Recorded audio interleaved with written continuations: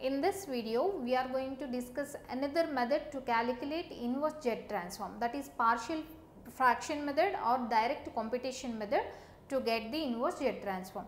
To explain this, I am going to consider an example. So, this is the example problem given. So, here they given a transfer function of the system h of z is equivalent to z square plus 2z divided by z square minus 3z plus 2. They are asking what is the impulse response of the system h of n. So, here how we will get impulse response from this transfer function? Definitely we need to consider the inverse z transform for this to get h of n. So, here to consider the inverse z transform if you see here the polynomials are having equal powers. Generally we will go for this method whenever polynomials are having equal or numerator is having greater uh, greater polynomial. So, here generally in this method what we will do is step 1 is we will take one z to this side. So, this is h of z is equivalent to given transfer function. So, we will make h of z by z format. So, this is step 1. After that step 2 is, so after that we are going to deal, we are going to solve this equation by using partial fractions, partial fraction solving. After that step 3 is send this z denominated z to send z to again right side right side and step 4 take inverse z transform.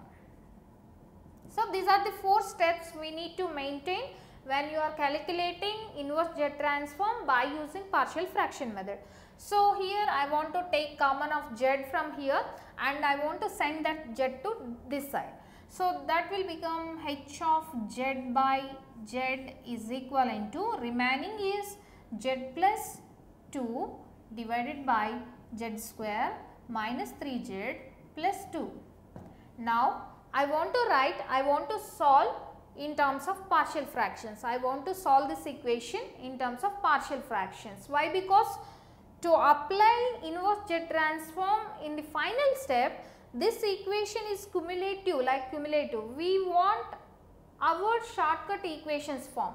So, but this equation is not in that form. For example, if our equation in, is in z by z minus a form or 1 by z minus a form, we can easily get the z transform of that particular form. But for this we are not having direct z transform. That is why I am going to solve this by using partial fractions.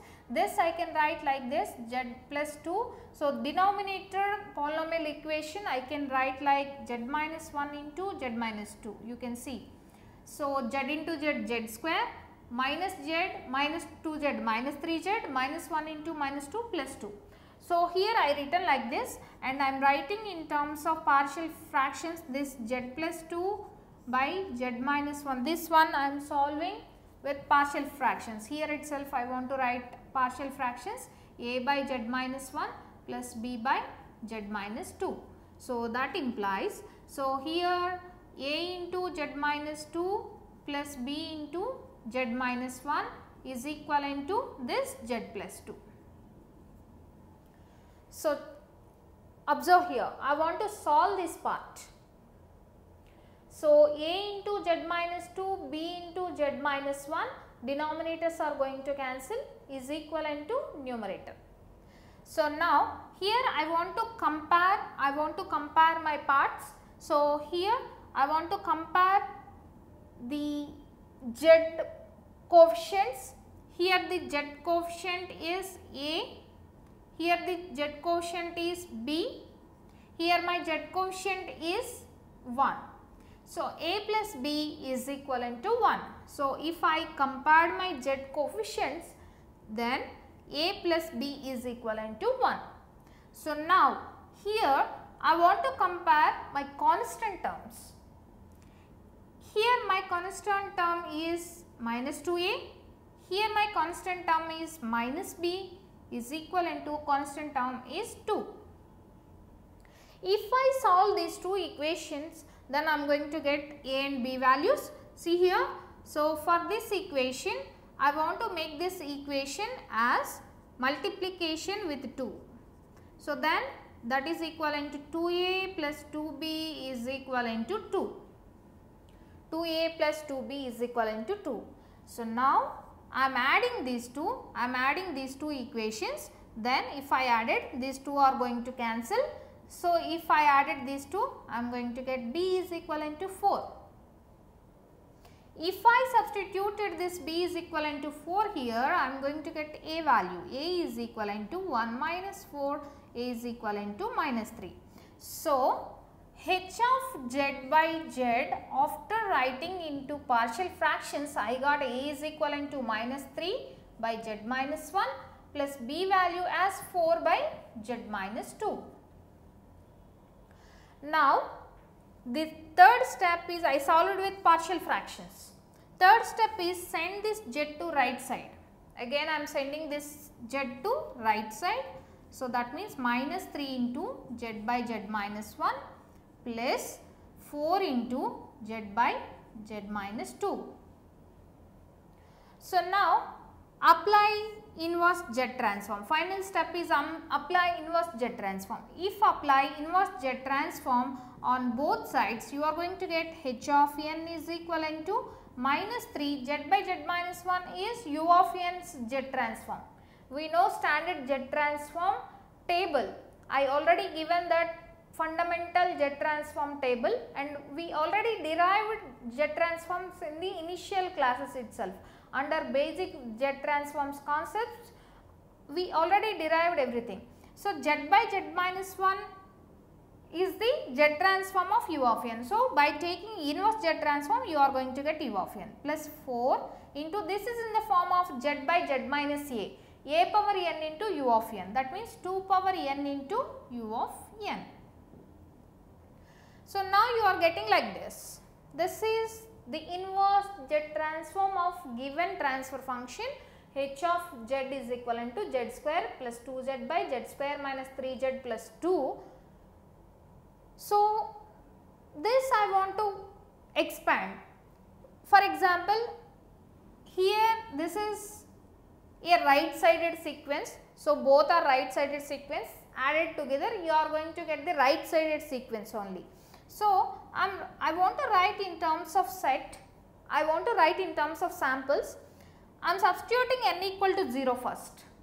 If I substitute n equal to 0, the value is minus 3 plus 4 into 2 power 0 into u of 0, u of 0, u of 1, u of 2 everything is 1. So, 4 into 2 power 0 that means minus 3 plus 4. Minus 3 plus 4 means you are going to get 1. If I substitute n is equivalent to 1, so minus 3 minus 3 plus if I substitute n equivalent to 1, it is equivalent to 2, 2 into 4. 2 into 4 means it is equivalent to 8. So, 8 minus 3 it is equivalent to 5. Now, if I substitute n is equivalent to 3. So, you are getting some other value. So, so on you are going to get values up to n is equivalent to infinity. I want to check this same by using division method. By using division method also you need to get the same values. So, for that I am going to check the division method. Here itself I want to check the division method. So, I am going to consider this z square plus 2z. So, z square minus 3z plus 2. So, z square z square one time z square minus 3z plus 2. So, I am changing the signs plus minus. So, 2z plus 3z 5z minus 2. So, z square with 5z how many times? So, z square with 5z means, so plus 5 z inverse, 5 z inverse. So, you will get some z square 5 z inverse means 5 z minus 3 5's 15 plus 2 z inverse. So, sign change again so is going to cancel and here 15 minus 2 13, 13 and here you are going to get so minus 2 z inverse. So, like this you are going to get. So, so on, so on this process will continue. If you decode the values, you are going to get the same values. You are going to get the same values. So, by division method or by partial fraction method, you are going to get the same answer. So, according to the options, you need to choose the method for calculation of inverse Z transform. For example, if they given in terms of samples, division method is perfect. So, if they given in terms of like this, then this partial fraction is perfect. So, if they given the options in terms of the functions and the transfer function given transfer function is in equal polynomials then this partial fraction method is apt for calculating inverse Z transform.